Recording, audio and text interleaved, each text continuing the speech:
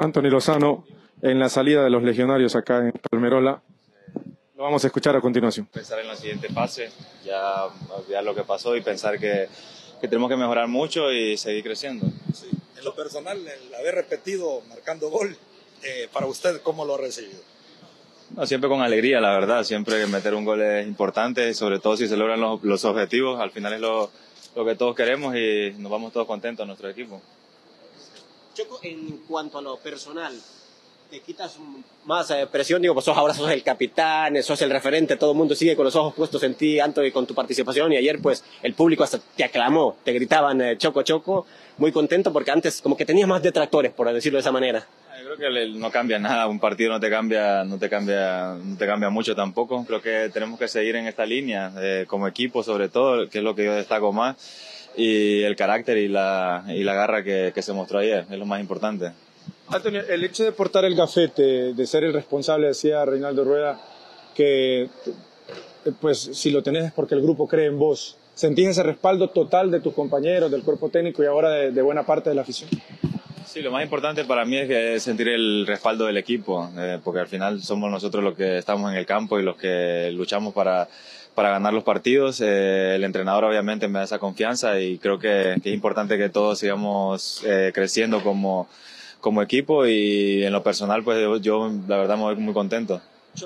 Estados Unidos o México, rivales a enfrentar en esta segunda ronda, ¿a quién preferirías tú?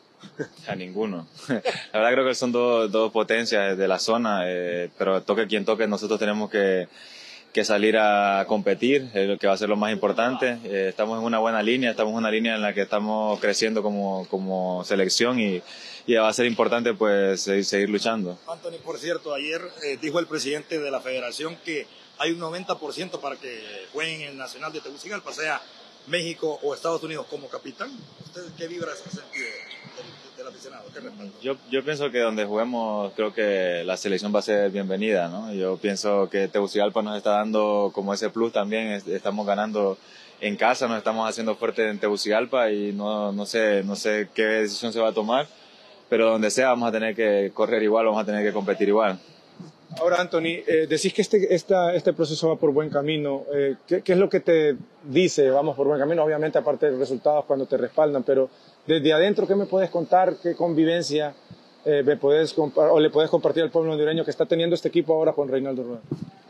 Yo creo que es importante el manejo de, del vestuario del, del, profesor, es importante cómo nosotros nos entendemos en el campo y es importante el día a día, la concentración. Creo que la selección, bueno, está, somos eh, un grupo de futbolistas que nos conocemos desde hace mucho tiempo y eso también nos suma, nos suma mucho para que dentro del campo nos entendamos bien.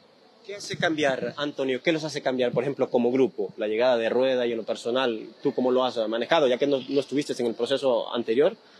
No, yo creo que sobre todo los resultados, el que el equipo esté jugando mejor, el que el equipo tenga eh, eh, mejores resultados, creo que eso importa, importa bastante y te, te llena de confianza al final creo que los resultados lo son todos, por más que tengas un buen grupo, por más que tenga que jugues, jugues bien, pero si no ganas los partidos al final es, es, complicado.